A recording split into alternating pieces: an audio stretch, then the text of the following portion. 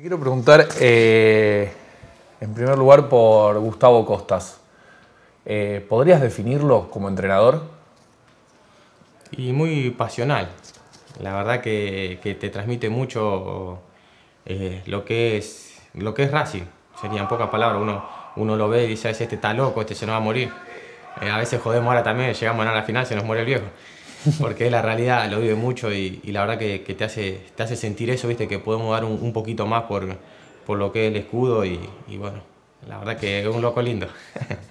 ¿En qué momento dijeron eso? Che, se nos va a morir, ¿En qué? ahora en la semis, ¿en qué partido? ¿En qué momento lo comentaron entre ustedes? Nada, siempre hicimos jodiendo porque vos vas a la casa de alguien a comer una, una, comida, un asadito o algo y te dicen, che, ¿cómo corre tu entrenador? Corre más que ustedes. En cualquier momento se va a morir. Es lo que siempre decimos jodiendo, obviamente, que que para el momento hay que reír un rato, pero, pero no, lo vive, lo vive mucho lo que es Racing. Bien. ¿Y como persona?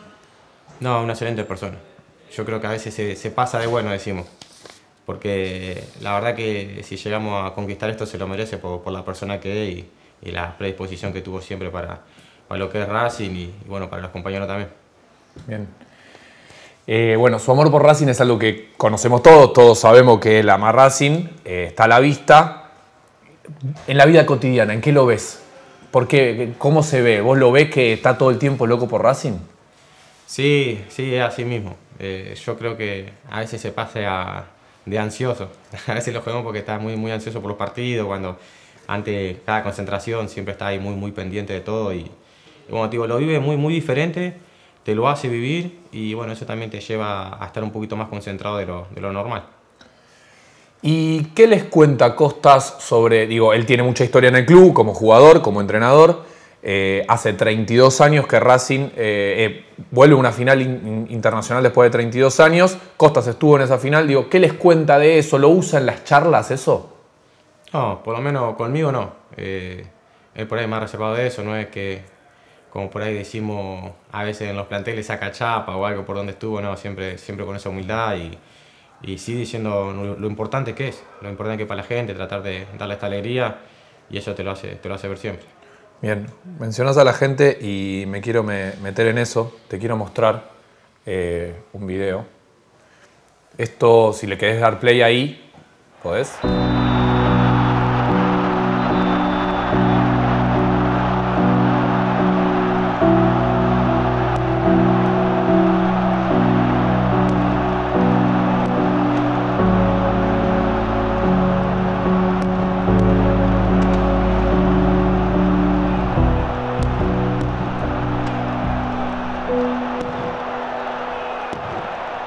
Eso es la semifinal de vuelta, a cuando terminó el partido. Eh, ¿Qué te hace pensar? ¿En qué te hace sentir, digo, pensar en ese momento? No, la, ilusión que tenemos todos, ¿no? Que es ganarla. Obviamente que uno sabe que, que, del segundo nadie se acuerda y todo lo que queremos es ganar la Copa. Es la realidad, hicimos tanto esfuerzo y queremos ganarla.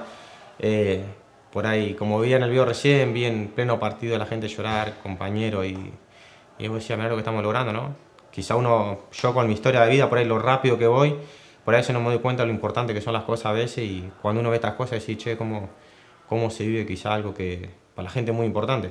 Mm. Y como te digo, por ahí esta semana y quizás estos pequeños videos, estas cosas, pues sí, lo que estamos generando y, ojalá que conquistemos esa, esa copa tan querida. ¿Y te llega eso durante el partido? Vos te das cuenta de la emoción del otro día en el cilindro, cilindro repleto, un recibimiento increíble. ¿Te llega en el momento del partido? ¿Te, te hace...? Sí, obviamente que a todo jugador siempre un recibimiento así es muy lindo. Creo que más hasta de lo, de lo bueno que estuvo entramos medio dormido porque nos costó entrar en el partido. Porque a veces pasa, ¿viste? Que o te pasa de vuelta o entras dormido. Y, y, nos pasó hasta que nos despertó ese gol. Eh, la verdad que, que, era como la exigencia mucha, ¿no? Eh, o la expectativa de la gente que quizás entraba un poquito de medio caído, pero lo pudimos dar vuelta también con el, con el empujón y el aliento de la gente, la verdad que, que pudimos ganar y dar vuelta al partido. Bien. ¿Qué te imaginas de la gente en Asunción? Se viene la final, sábado 23, en Asunción. Se está hablando de que mucha gente de Racing va a viajar o quiere viajar o tiene pasaje o busca entrada. ¿Qué te imaginas de eso? No, yo creo que va a ser la misma gente que estuvo acá y quizá más. No sé cómo van a entrar a la cancha, si se van a quedar alrededor de la cancha, no tengo idea. Porque la verdad que es una locura. Yo estuve tres años en Paraguay y ya hasta la gente de Paraguay me dice no hay alquileres, no, no hay lugar, la gente de Argentina está queriendo buscar y no, no se consiguen. Así que si la gente allá me escribe que no hay lugares, porque va a estar llenísimo. Bien. Em, me quiero meter en algo más, eh, no, sé si personal, digo, vos eh, das hasta donde querés, pero entiendo que la fe es algo muy importante en tu vida. Eh, ¿Es así? ¿cómo, ¿Cómo vivís eso en relación al fútbol? Sí, no, la fe, la mía, es la base de todo, la base del fútbol, porque el día que estuve en prisión, mm, fue ahí cuando empecé a creer en Dios, elige la oportunidad de jugar al fútbol. Fue a los 22 años, estaba ahí en Buzones y dije, Dios, dame la posibilidad de jugar al fútbol porque había tenido un accidente en la mano, no iba a poder trabajar, tenía mucha incapacidad y bueno, y sabe que por lo menos con los pies podía hacer algo. Y, y ese día fue que Dios arrancó mi vida y hasta el día de hoy siempre trato de darle la gloria porque hay puertas que se abren que son por él, ¿no? Yo, como cuando vine a Racing dije, Racing tiene a Roger, Juanfer, jugadores de nombre, tiene su y bueno, muchísimo más. Y, y uno dice, ¿qué, ¿qué, hago acá yo? Después de 5 o 6 años no estando en primera, estar acá entre estos jugadores, poder jugar y, que Racing pueda traer el 9 que quiera, ¿no? Como lo hizo años atrás, traerme a mí y que Dios nos dé esta bendición. Yo creo que Dios está en el plantel porque se, se nota, se ve. Eh, a veces, creo que todos los años que juega la pelota, no sé mucho, la primera vez que veo un club que, que publica hasta, hasta canciones en la página de cristianas, algún versículo, eso nunca lo vi. Eh, yo creo que más allá Costa, que también cree, la mayoría de los compañeros siempre están con remera de Dios, eh, llevan su Biblia a, a, las concentraciones, están orando, están pidiendo. Antes empezó un partido también, entonces yo creo que, que Dios se quiere glorificar con este, con este plantel.